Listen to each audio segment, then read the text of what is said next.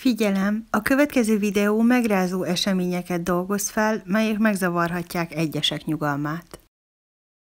Sziasztok! Üdvözöllek titeket újra itt! Hát remélem nagyon jól teltek nektek az ünnepek, nekem szuper volt, nagyon sokat ettem, nagyon sok sütit, meg mindent, de gondolom ezzel nem vagyok egyedül. A másik, amit nagyon szeretném megköszönni nektek, hogy elértük az ezer feliratkozót, amit álmomban sem mertem volna gondolni, hogy valaha is elérem ezt a bűvös számot, szóval nagyon-nagyon szépen köszönöm nektek, és akkor a mai videóban egy eléggé durva esetet hoztam, legalábbis most csak az első felét, ugyanis ez egy sorozatgyilkos párról fog szólni, viszont ebben a részben csak az egyikről fogok beszélni, aztán a következő videómban a másik elkövetőről, hogy neki milyen volt az élete, és utána egy harmadik videóban pedig az együtt elkövetett gyilkosságokról fogok beszélni. Szóval a mai videónk témája nem lesz más, mint Henry Lee Lucas. Szóval akkor kezdjünk is bele!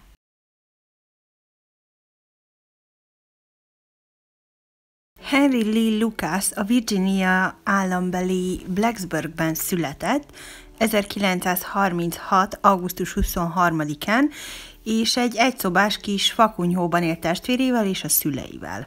Apja Anderson Lucas masszív alkoholista volt, aki egyik lábát egy vasúti baleset következtében veszítette el, így nem igazán talált munkát. Azzal próbált egy kis pénzt keresni, hogy ceruzát árult az utcán.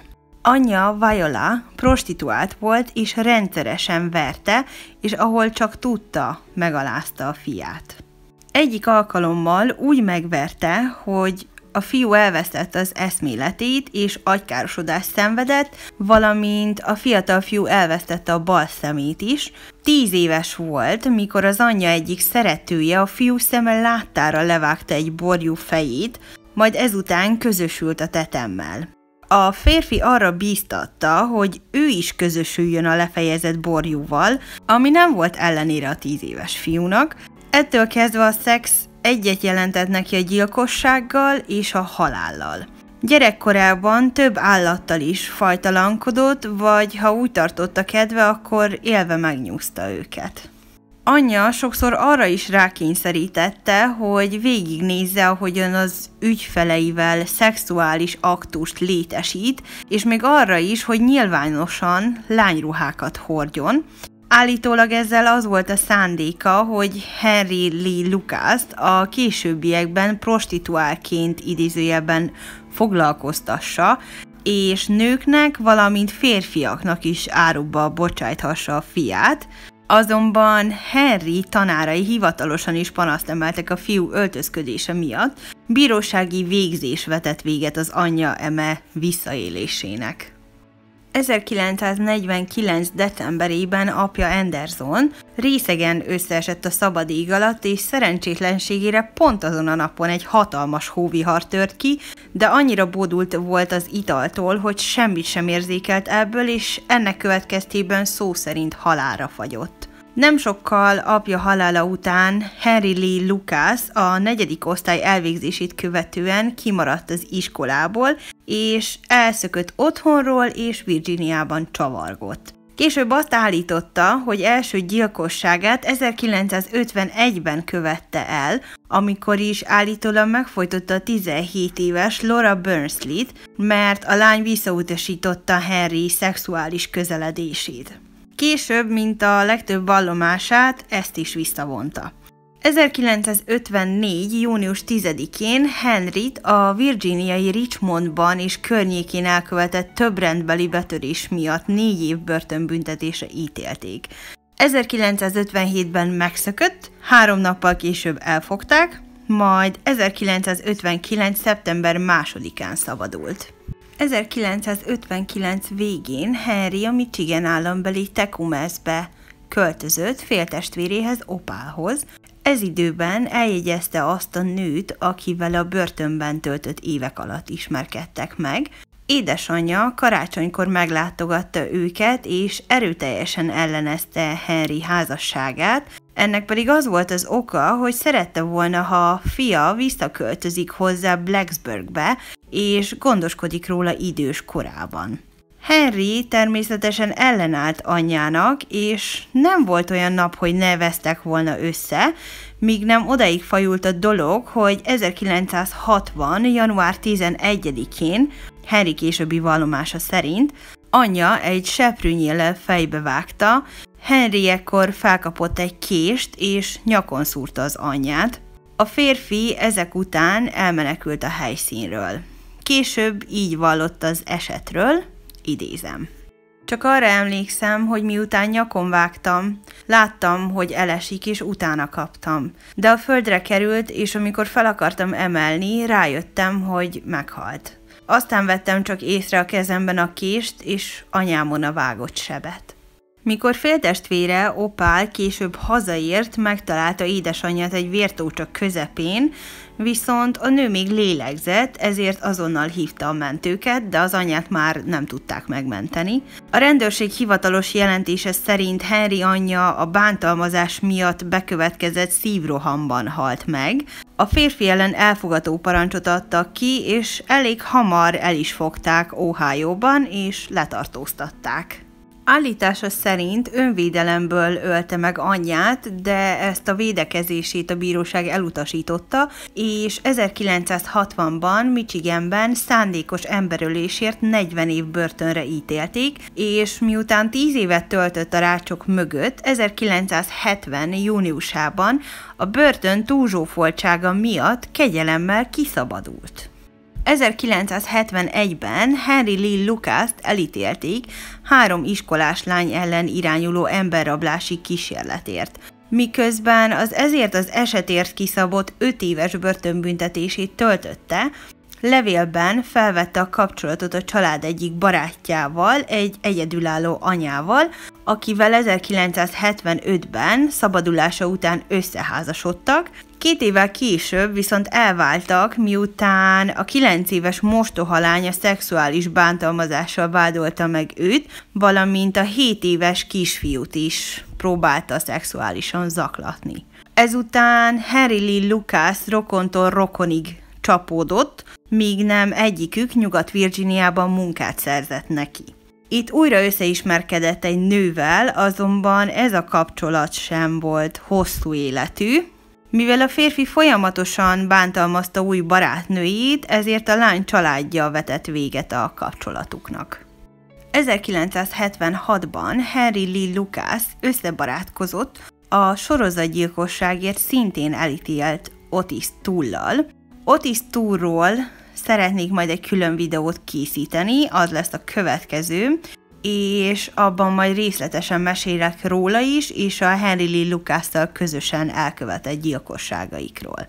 Szóval, tehát összeismerkedett Otis Tullal, és oda költözött Otis családjának a házába, ahol is közel került a férfi enyhén értelmi fogyatékos unokahugához, Becky Powellhez, aki ekkor még csak 12 éves volt. Ebben az időszakban Henry úgymond rendezetnek mondható életet élt, tetőfedőként dolgozott, javította a szomszédok autóit és ócskavasat gyűjtött. A férfi rávette Becky Powell-t, hogy szökjenek meg, végül a texasi Montagu megyében kötöttek ki, ahol szállást és munkát is kaptak egy idős asszonynál, név szerint Kate Richnél. Azonban hamarosan a nő rokonai kitették a pár szűrét, azzal vádolva őket, hogy nem végezték el a munkájukat, és Kate Rich nevében csekeket állítottak ki maguknak. Henry és Becky így kénytelenek voltak továbbállni, de továbbra is tartották a kapcsolatot Kate Rich-el. Átmenetileg a közeli Stoneburgben egy lelkész fogadta be őket az egyház egyik kisebb lakásába. 1982 őszén bejelentést tettek a Montagu megyei rendőrségen Kate Rich eltűnéséről. A nő családtagjai természetesen egyből Henry Lee Lucas-t gyanúsították, a nyomozás azonban sajnos nem hozott eredményt, ugyanis a férfi ismeretlen helyen tartózkodott, és Kate Rich holtestét sem találták meg. Azonban a rendőrség tudomására jutott, hogy Henry barátnője Becky Powell is eltűnt. Egy hónap elteltével Henry Lee Lucas ismét felbukkan Stonebergben, de a nyomozóknak a két eltűnési eset kapcsán nem volt bizonyítékuk a férfi ellen, viszont egy érvényben lévő Michigani körözés miatt 1983. június 11-én letartóztatták. A férfit letartóztató Phil Ryan megkezdte a kihallgatást, azonban eleinte nem sikerült vallomást kiszedni a férfiből, ezért felfüggesztették a további kihallgatásokat, ami úgy tűnik, hogy jó döntés volt, ugyanis Henry egy nap írásos vallomást adott át az őröknek, amelyben beismerte Kate Rich meggyilkolását.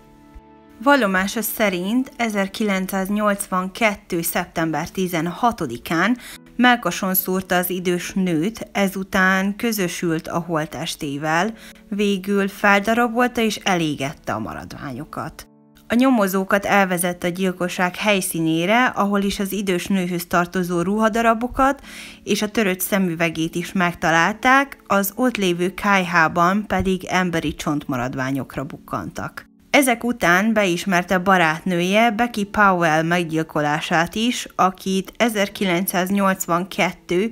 augusztus 24-én szintén feldarabolt, a testrészeit pedig különböző helyeken elásta, ahova el is vezette a nyomozókat. Vallomása szerint veszekedni kezdett Beckyvel, ami során a nő pofon ütötte, ezért a férfi leszúrta, majd közösült a holtesttel. Elmondása szerint három héttel később éppen azzal csalta oda Kate Richet, hogy segítsen neki Becky keresésében, a törvényszéki bizonyítékok azonban nem voltak meggyőzőek, és még a halott kém sem tudta egyik áldozatot sem minden kétséget kizáróan azonosítani, Évekkel később Henry Lee Lucas pedig tagadta mindkét gyilkosságot, azonban az általános vélekedés szerint ő gyilkolta meg mindkét nőt. 1983. június 21-én került sor a vádirat ismertetésére Kate Rich meggyilkolásának ügyében, és a bírósági ülésen Harry Lee Lucas mindenki megdöbbenésére megkérdezte a bírótól, hogy mi lesz azzal a több mint száz nővel, akiket szintén meggyilkolt. A későbbi kihallgatásai során elmondta, hogy a letartóztatása előtti 8 évben szerte az országban több mint 100 nőt fosztott meg az életétől. Az esetből természetesen országos média szenzáció lett, a nyomozati szervek pedig felvették a kapcsolatot a Montagu és Denton megyei rendőrséggel, hogy a lezáratlan gyilkossági ügyeikre megoldást találjanak, Miután Becky Powell meggyilkolásáért a Dentoni Bíróság életfogytiglani börtönre ítélte, 1983. novemberében Jim Boatwell sheriff kezdeményezésére Henry Lee Lucas-t átszállították a Texas állambeli Georgetownba, Boatwell egy Dallas és Austin között elkövetett gyilkosság sorozat ügyében nyomozott, addig sajnos eredménytelenül. A rendőrség munkatársainak Henry Lee Lucas számos megoldatlan gyilkosságot ismert be, vallomásai alapján pedig 28 esetet sikerült lezárni.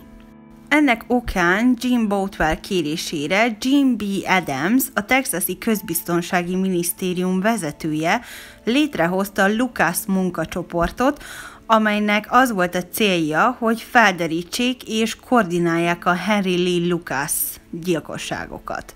Az ország minden részéről Georgetownban fogadták a megoldatlan gyilkossági esetekben nyomozókat, hogy kihallgathassák a férfit.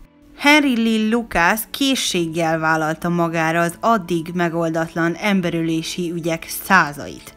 1983-ban elhíresült mondatával jellemezték kegyetlenségét, ami így hangzott I've killed them in every way there is, except poisons. Ami magyarul annyit tesz, minden módon gyilkoltam, kivéve a mérgezést.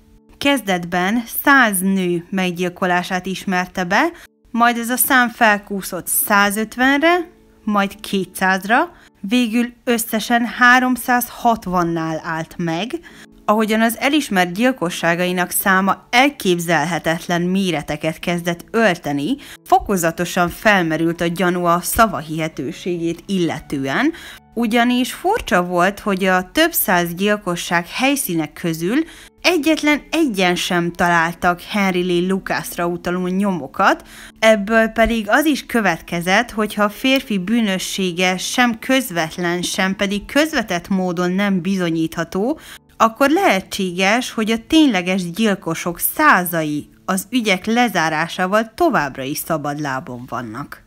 Ezekben a gyilkosságokban a Henry Lee Lucas bűnösségének megállapítására tett későbbi kísérleteket megnehezítette, hogy fényderült arra, hogy a férfi annak idején hozzáfért az általa beismert ügyek aktáihoz, így az azokban szereplő olyan információkhoz is, amiket csak a gyilkos tudhatott. A kihallgatási felvételekből az is kiderült, hogy Henry nagyon jól reagált a nyomozók akaratlan megnyilvánulásaira, és a vallomásait olyan irányba terelte, hogy azok a rendőrök, illetve a nyomozók elvárásaival és az általuk ismert tényekkel egyaránt összhangban legyenek. A Lukász munkacsoportot ért legsúlyosabb vád ez volt, hogy a férfi az ő engedélyükkel olvashatta el a megoldatlan ügyek iratait, ami ugye lehetővé tette számára, hogy meggyőző és részletes vallomásokkal álljon elő, ami gyakorlatilag lehetetlenítette annak megállapítását, hogy a gyilkosságokról a saját emlékeit, vagy az aktában olvasottakat adta -e elő. Más esetekben tett vallomásai már eleve gyanút keltően bizonytalanok voltak. 1983-ban például azt állította, hogy Minnesota-ban az Interstate 90-es autópálya mellett ölte meg a később Michelle Buha néven azonosított nőt. Kihallgatásakor azonban ellentmondásokba keveredett a gyilkosság részleteivel kapcsolatban, ezért kizárták a gyanúsítottak közül. Egy évvel később, 1984-ben beismerte az akkor még azonosítatlan, 1979. november 10-én a Kaledónia mellett talált fiatal lány agyonlövését, azonban a nyomozók nem találtak elegendő bizonyítékot a vallomása alátámasztására. A szava hihetősége ugyan megkérdőjeleződött, ám ennek ellenére abban a több mint 3000 gyilkossági ügyben, amikben gyanúsítottként szerepelt, 213 esetben Henry Lee Lucas-t azonosították elkövetőként. A nyomozó szervek mellett természetesen az újságírók érdeklődését is felkeltette az eset. A The Dallas Times Heraldban 1985 áprilisától megjelent cikksorozatban Például kiszámították, hogy Henry Lee Lucasnak 13 éves Fordjával egy hónap alatt 17.700 kilométert kellett volna megtennie, hogy elkövethesse a beismert gyilkosságokat. Henry Lee Lucas-t végül 11 rendbeli emberülésben találták bűnösnek, amelyek közül Debra Jackson 1979-es megöléséért 1984-ben halálbüntetésre ítélték, annak ellenére, hogy bár a nő holtestét a texasi Williamson megyében találták meg, a férfi munkahelyi nyilvántartása szerint aznap 1800 kilométerre volt a floridai Jacksonville-ben. Az ügyvédek úgy vélték, hogy Henry Lee Lucas azért ismert be ennyi gyilkosságot, hogy mindenképpen halálbüntetést kapjon. Egy szaknyelven jogi öngyilkosságnak neveznek. A férfi egy interjúban elmondta, hogy élettársa Becky Powell meggyilkolása miatt érzett lelkiismeret furdalása késztette arra, hogy ennyi gyilkosságot magára vállaljon, Miután bebizonyosodott, hogy beismerő vallomásában az elkövetés részleteit a számára átadott aktákból ismerte, a halálos ítéletét 1998-ban George W. Bush, texasi kormányzó életfogytiglani börtönbüntetésre mérsékelte. A vallomásaival szemben felmerült kétségek ellenére Henry Lee Lucas a mai napig az Egyesült Államok legtöbb áldozatot szedő sorozatgyilkosaként él a köztudatban. Többen vélik úgy, hogy a férfi az ellentmondások ellenére nagyon is sok ember haláláért felelős. Egy tapasztalt texasi ranger, aki részt vett a Lucas munkacsoport nyomozásában elmondta, hogy nyilvánvaló volt, hogy Harry Lee Lucas sokszor hazudik, azonban voltak esetek, amikor kétségtelen bizonyságot tett a bűnösségéről, Később DNS bizonyítékok elemzésével igazolták, hogy nem a férfi gyilkolta meg a beismert gyilkosságok közül 20 embert. Henry Lee Lucas 64 éves korában 2001. március 12-én este 11 órakor halt meg a börtönben szívelégtelenség miatt. A texasi Huntsville-ben a Captain Joe Beard temetőben helyezték el, ám sírját vandálok mindig tönkretették, így 2012 óta jelöletlen sírban fekszik.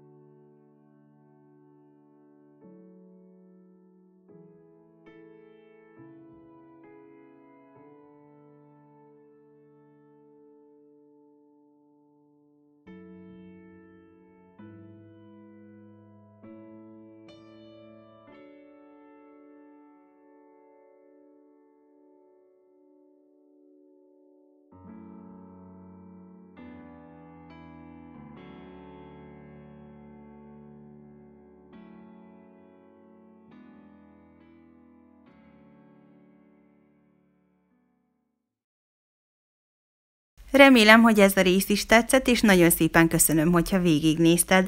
Ha nem szeretnél lemaradni a többi videómról sem, akkor iratkozz fel a csatornámra. Legyen csidi csoda szép napotok, és vigyázzatok magatokra. Sziasztok!